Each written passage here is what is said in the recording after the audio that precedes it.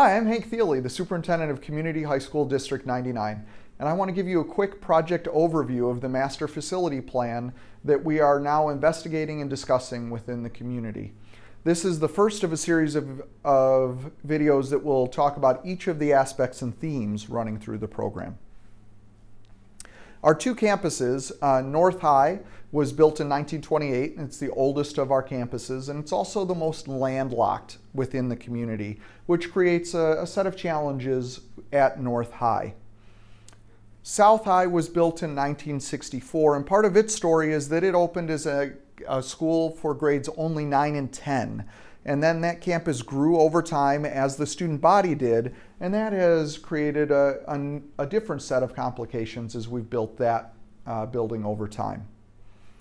In District 99, we have a long history of improvements of our facilities, uh, which you can see here through this timeline. I want to highlight a few of these sections. If we go back to the beginning of the district, you'll see there's this repeating about every 10 to 15 year period there's a new investment in the facilities to modernize, expand, improve. So you'll see this in the early start of the district, and then once we add Downers Grove South in 1964, you'll say, see that same periodic uh, reinvestment in our schools, leading up to uh, just before the turn of the century was our last huge building project uh, in 1997 uh, across both campuses. We came back 10 years after that and did some more outdoor improvements and then some mechanical improvements inside. Right now we're at a point where the, the funding, the bonds that were there for the building in 1997 are about to roll off. And this is our opportunity to look and see do we, how do we reinvest in our schools again. Because we knew those bonds were going to roll off in 2019, back in 2011, as part of the strategic planning process, the Board of Education started looking at what should we do in the future to plan for our facilities. So you'll see this has been a discussion going on for six years, leading up to a conceptual plan with these ideas of, for our buildings that are contained inside.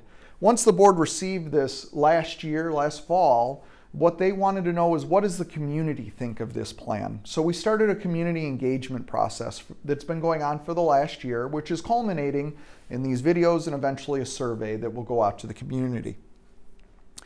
As we went into this, this whole thing in 2011, what we were really looking at is what do our buildings need for the next century of teaching and learning inside of our walls?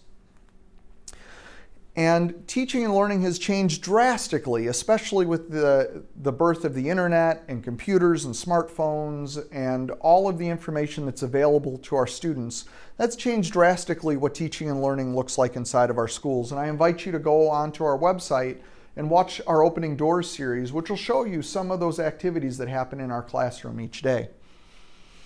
Out of the, all of this work, and looking into the future, what emerges is really a few themes, and each of the videos in this series will highlight a different one of these themes. But for this, I want to just go through the overview of the project.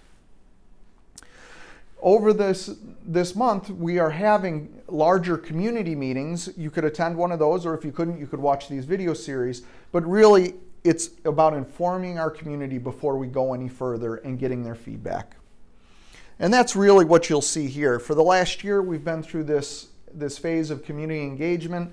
We've formed task force, small groups, large groups, and we've had a lot of discussion around these plans, culminating in the survey that you'll receive in the mail. That'll come back to us. Our, our group of 40 community members from a cross section of the community will then look at all of that data and make a recommendation to me.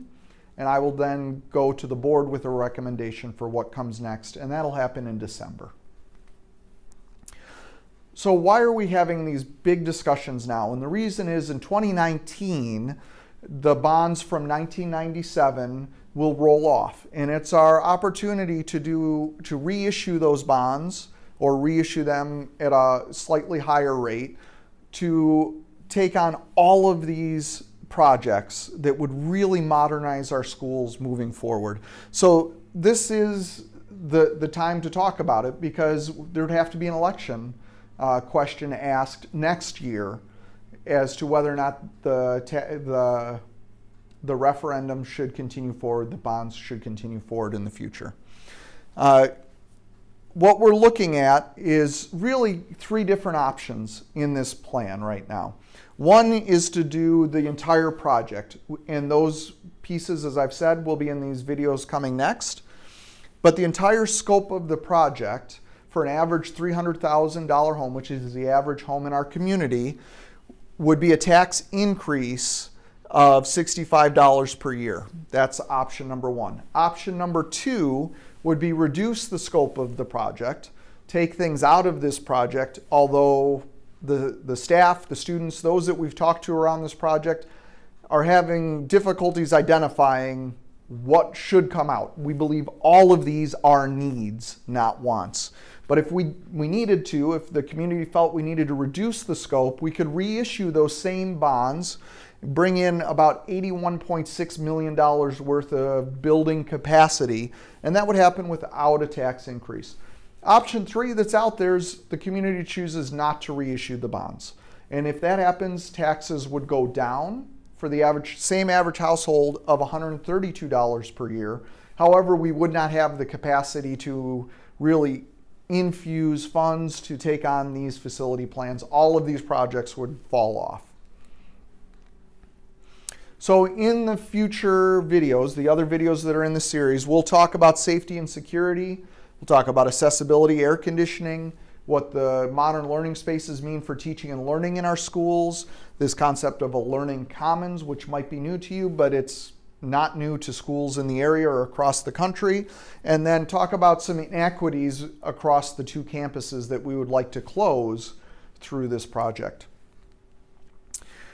In the next few weeks, coming out to all households in the entire community. All taxpayers will have a survey with a fact sheet sent to them.